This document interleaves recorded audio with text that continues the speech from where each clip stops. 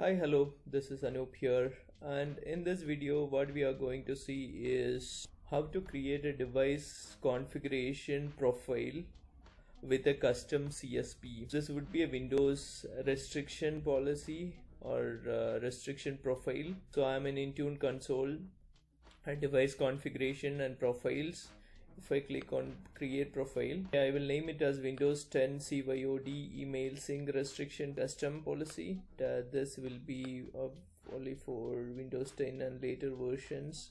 If I select this configuration type mm, this is profile type and I'm going to select custom if you want to do some other restrictions like device restrictions there are out of box policies available. You can use this option device restrictions. But in this case I'm going to use custom policy. I'm going to add OMA URI details. First of all I need to provide the name of the policy.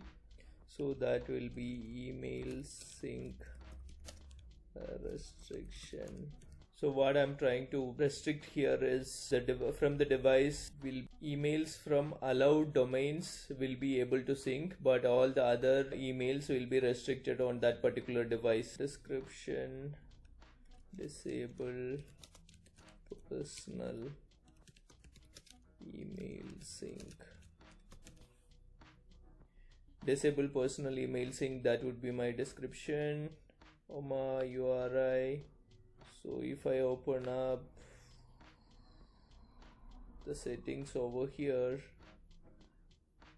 This is the URI settings. Allowing specific domain email sync. So I have created OMA URI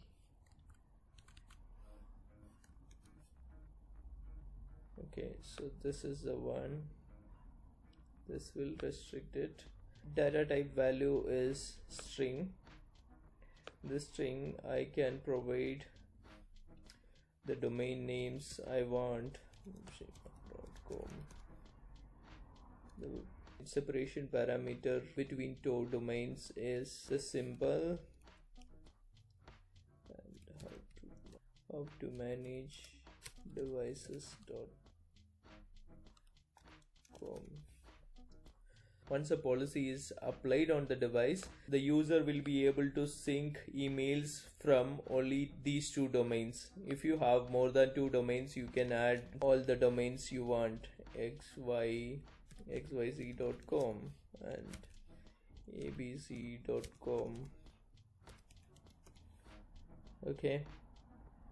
So just click on ok. Click ok here create.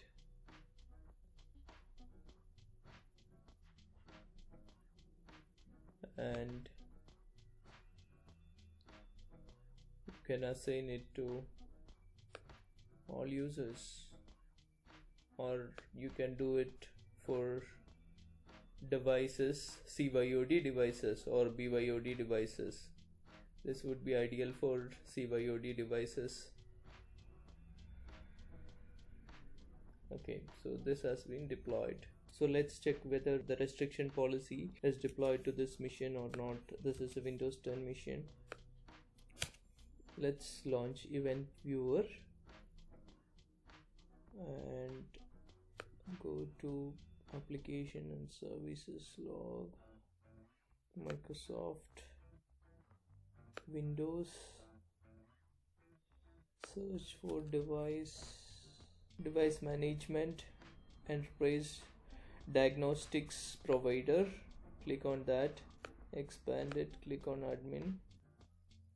So so if I go to the logs of that admin event logs you can see these are the policies. This is the policy which got successfully deployed on the machine. If I go back to the overview you can see that this policy has been successfully deployed to our one device. Okay thank you for watching. If you like my videos please subscribe my youtube channel. Don't forget to click on bell button to get the notification about new videos. Bye bye